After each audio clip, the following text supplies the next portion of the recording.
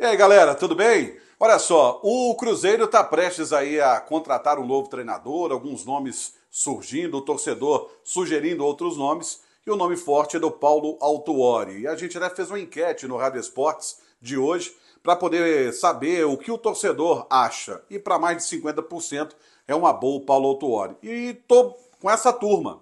Sabe por quê? Faltam três meses para acabar o campeonato. Nenhum treinador que esteja empregado e, inclusive, fazendo um bom trabalho, por mais que a grandeza do Cruzeiro seja muito maior do que ele está fazendo, vai deixar um trabalho consolidado para chegar em um onde ele vai ter que recomeçar tudo. Então, Paulo Autuori fica até o final do ano, o Cruzeiro já contrata um treinador para o ano que vem, e aí o Paulo Tuori vai ter a meta de manter o Cruzeiro na primeira divisão, quem sabe até beliscar a competição internacional.